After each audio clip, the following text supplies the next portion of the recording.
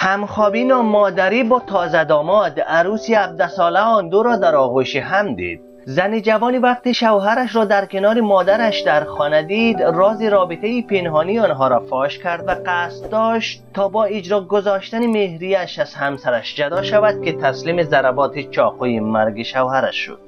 ادامه را با ما همراه باشید.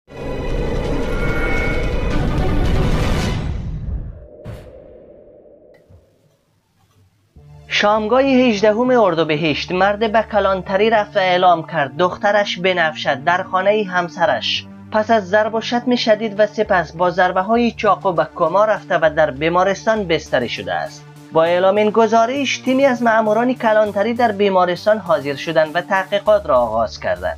نخستین بررسی ها نشان داد. شب حادثه به نفشه 17 ساله در مقابل چشمان پسرش به خاطر اجرا گذاشتن مهریه با همسرش درگیر و پس از ضرب و شتم شدید با چاقو مجروح شده است. این زن که به شدت آسیب دیده بود برای نجات خود با خواهرش تماس گرفته و با کمک همسایگان به بیمارستان انتقال یافته بود.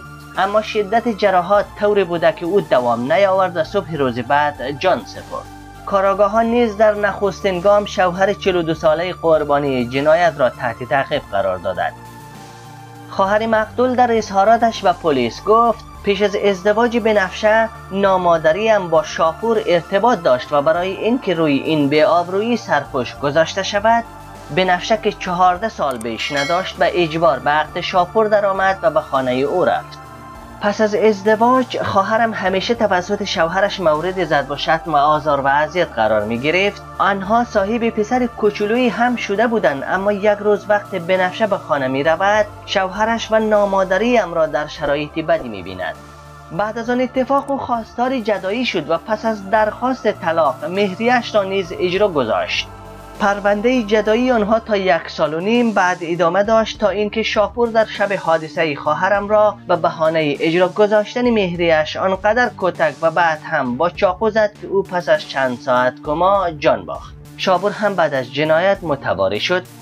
اما پایان یک سال زندگی پنهانی ردیابی برای دستگیری قاتل فراری ادامه داشت تا اینکه سرانجام شاپور در خانه متروکه در جنوب تهران دستگیر شد. و در نخستین بازجویی های پلیس منکر قتل شد اما پس از مدت به جنایت اعتراف کرد.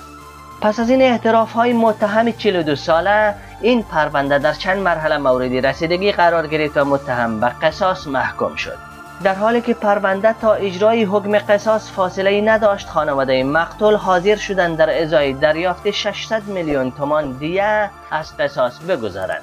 به این ترتیب محکوم به مرگ روز دوشنبه پس از محاکمه با پرداخت مبلغ دیه و رضایت اولیای دمر قصاص رهایی یافت. او همچنین به خاطر داشتن روابط غیر اخلاقی نیز به زندان محکوم شد.